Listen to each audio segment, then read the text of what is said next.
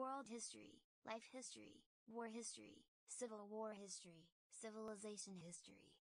All you can know with Viad History!